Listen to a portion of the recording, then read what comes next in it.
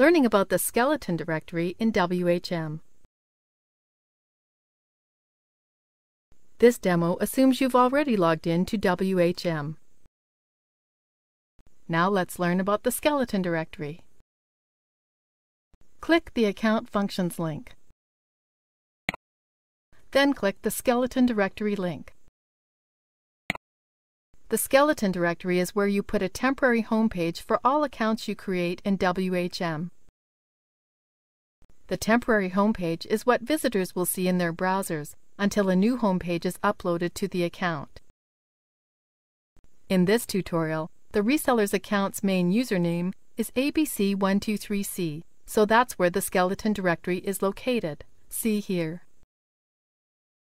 To change the temporary or default home page, Simply upload a new page to the cpanel3-skel directory in the location shown above, using either an FTP program or the File Manager tool in your main account cPanel.